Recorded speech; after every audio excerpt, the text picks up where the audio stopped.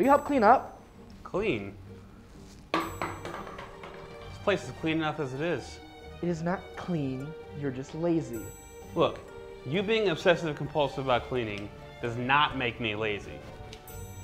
Obsessive? Compulsive? We haven't cleaned this place in a week. A week? Oh my god, a week! How can we live like this, like animals? So what? Clean the place once a month? Twice a year? Okay, how about this? How about we clean when we think the place needs cleaning? Clearly, we have different ideas of what the word clean means.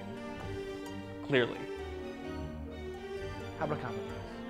Yeah? Okay, how about you clean when you think you need to clean, and I'll clean when I think I need to clean. And then we'll both be happy. That's cute.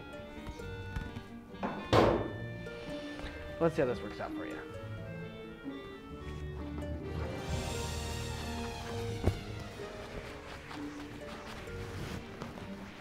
That's cute.